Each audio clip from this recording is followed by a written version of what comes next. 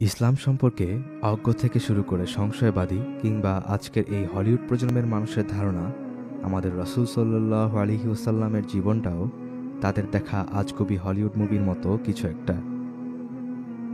সেখানে গল্পের চরিত্রের মতো প্রিয় নবীর জীবনটাকেও এরা ফ্যান্টাসি মনে করে। কিন্তু বাস্তবতা আমাদের এই হলিউড প্রজন্মের মতো এত ফ্যান্টাসিতে ভরা ছিল না। আমাদের নবী রাসুল সাল্লাহ আলহিউসাল্লামও একজন মানুষই ছিলেন। তিনি কোনো জাদুকর ছিলেন না। সবসময় জায়নামাজে চড়ে উড়ে বেড়াতেন না। শুধু অলৌকিকতা দেখিয়ে বেড়াতেন না। আমাদের মোহাম্মদ সাল্লাহ আলহিউসাল্লামও একজন মানুষই ছিলেন। কেমন মানুষ? তিনি আমাদের রসুল সাল্লাহ আলহি ওয়াসাল্লাম, যিনি আগে পরে সমস্ত গুনাহ মাফ করে দেওয়ার পরও আল্লাহর কাছে দিনে শতবার তবা করতেন, যিনি মাঝরাতে তাহাজুদে সালাতে দাঁড়াতেন। এই দাঁড়ানো এত দীর্ঘ হতো যে পা ফুলে যেত। যখন ওনার স্ত্রী ওনাকে প্রশ্ন করত, আপনার এত কষ্ট করার কি দরকার? আপনার তো আগে পরে সব গুনাহ মাফ করে দেওয়া হয়েছে। তিনি বিনয়ের সাথে উত্তর দিতেন, আমি কি আল্লাহর কাছে কৃতজ্ঞ হব না? তিনি আমাদের রাসুল সাল্লাহ আলহি ওসাল্লাম যিনি সন্তানের মৃত্যুতে কেঁদেছেন, স্ত্রীদের সাথে অভিমান করে ঘর থেকে বের হয়ে গেছেন, যিনি নিজের ছেঁড়া জামা নিজের হাতেই সেলাই করেছেন। যিনি যুদ্ধ করেছেন, যুদ্ধের ময়দানে আল্লাহর রাস্তায় নিহত হওয়া সঙ্গীদের মাথা কোলে নিয়ে অঝরে কেঁদেছেন। যিনি নিজে কবরে নেমে তাদের কবরস্থ করেছেন। যিনি কিশোরী স্ত্রীর সাথে দৌড় প্রতিযোগিতা করেছেন। প্রিয়তম স্ত্রী খাদিজার মৃত্যুতে ব্যথিত হয়েছেন। মাঝরাতে তার কবরের পাশে গিয়ে ধূপ রেখেছেন তিনি আমাদের মতোই একজন মানুষ তিনি আমাদের রাসুল সাল্লাহ আলহি ওসাল্লাম দিনের পর দিন যার বাড়ির চুলায় আগুন জ্বলত না, পানি আর খেজুর খেয়ে মাসের পর মাস চলে যেত। ক্ষুধার্ত সাহাবি এসে ক্ষুধার জ্বালায় নিজের পেটে পাথর দেখালে তিনি নিজের জামা তুলে দেখাতেন, তার পেটে এর চেয়ে বেশি পাথর বাঁধা। যিনি এক তরকারির বেশি দিয়ে আহার করেননি, যার ঘর ছিল মাটির, বালিশ ছিল খেজুরের ছোবলা, আল্লাহর কসম।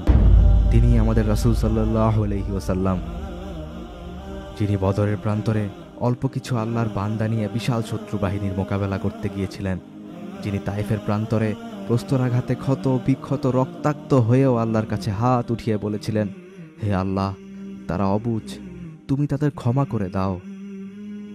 তিনি আমাদের রসুল সাল্লাহ আলহিউসাল্লাম যিনি নিজের পিতামাতার জন্য দোয়া করার অনুমতি পাননি। যিনি মৃত্যুর সময় অচেতন, অবচেতন অবস্থায় বারবার আউড়িয়ে যাচ্ছিলেন। উম্মাতি উম্মাতি উম্মাতি। সাহাবিদের সাথে চলতে গিয়ে তিনি কেঁদে উঠলেন।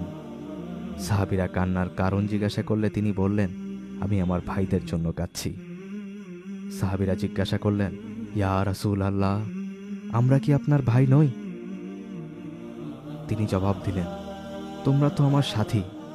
আমার ভাই হলো তারা, যারা আমার পরে আসবে আর আমাকে না দেখেই আমার উপর ইমান আনবে। হ্যাঁ তিনি আমাদের রসুল সাল্লাহ আলহি ওসাল্লাম যিনি আমার আপনার জন্মের আগেই আমাদের জন্য চোখের পানি ফেলে গেছেন।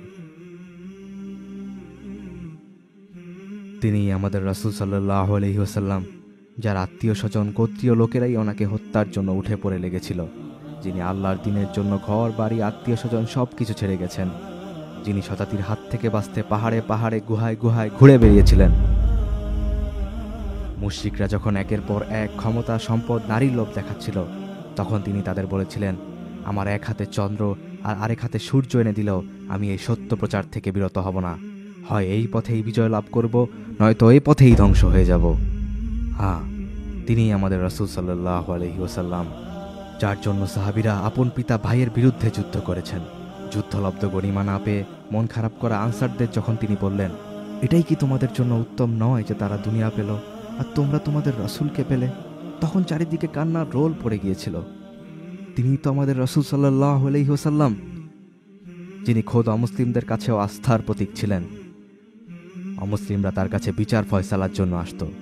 তারা জানত, মোহাম্মদ আর যাই হোক, অবিচার করবে না। যিনি আমাদের জন্য হাসরের মাঠে আল্লাহর কাছে সাফায়াত করবেন আমাদেরকে হাউজে কাউসারের পানি পান করাবেন। তিনি আমাদের রাসুল সাল্লাহ কিন্তু সেই প্রিয় নবীর সাথে কি আমরা ইনসাফ করতে পেরেছি? আমরা কি তার প্রতি আমাদের হক আদায় করতে পেরেছি? আমাদের সন্তানেরা আজ কাদের দেখে বড় হচ্ছে? কাদেরকে রোল মডেল বানাচ্ছে? কোথায় আজ প্রিয় নবীর সুন্নত? আর কোথায় নবীর আদর্শ? আমাদের প্রজন্ম আজ আচার আচরণে পোশাকে, আদর্শে কাদের অনুসরণ করছে? তারা অনুসরণ করছে খেলোয়াড় টিভি তারকার মতো জাহিলিয়াতের পথে আহ্বানকারীদের। আমাদের সন্তানেরা আজ গ্যাংস্টার হতে চায়, একে অন্যকে কুপিয়ে মারে। তারা জীবনকে উপভোগ করতে চায়, নিজের পিতামাতাকে নিজের হাতেই হত্যা করে। কিন্তু কেন তারা রাসুলকে অনুসরণ করতে চায় না? কেন তারা রাসুলকে আদর্শ বানাতে চায় না? কারণ আমরা আমাদের প্রজন্মের কাছে সেই মানুষটার জীবনই তুলে ধরতে পারিনি। রক্ত, ঘাম আর অশ্রুময় সেই জীবনটা পড়ে আছে অযত্নে অবহেলায়। তাই আসুন, রাসুলের আদর্শকে ছড়িয়ে দেই সবার মাঝে, প্রজন্ম থেকে প্রজন্মে। আসুন, প্রিয় নবীর প্রতি আমাদের হক আদায় করি। সাল্লাহ আলাইহি ওয়াসাল্লাম।